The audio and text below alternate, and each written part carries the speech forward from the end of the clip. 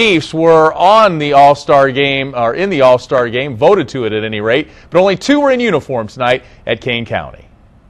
Ryne Sandberg's first team boasts three All-Star pitchers, but one has already gotten a promotion this season. Actually, two of them. Rocky Roquet has gone from lights out in Peoria to high A Daytona. Now he's with double A Tennessee. Jake Renshaw earns an all-star spot with numbers that don't bowl you over at first glance, 5 and 4 with an ERA over 5.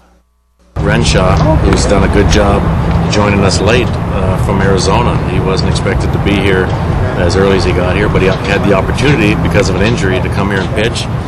And, uh, sports, I think, like a 5 and 2, 5 and 3 record with a, a really good uh, ERA, and he's been our best starter uh, to this point. So he, he had an opportunity to come and pitch, and, and now he goes to the All Star game in the Midwest League. Sandberg's third All Star is Alex Maestri, the first pro player from Italy. He's pitched well out of the bullpen, but has struggled in four starts.